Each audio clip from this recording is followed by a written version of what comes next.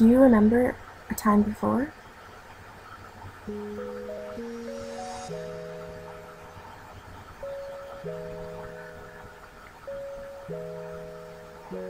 A time where Tutorial Island existed.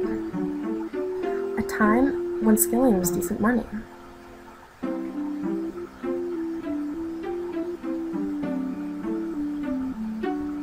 A time where you couldn't AFK for too long in case an evil chicken came along. A time when a whip was the best weapon you could get, and Constitution were called hit points.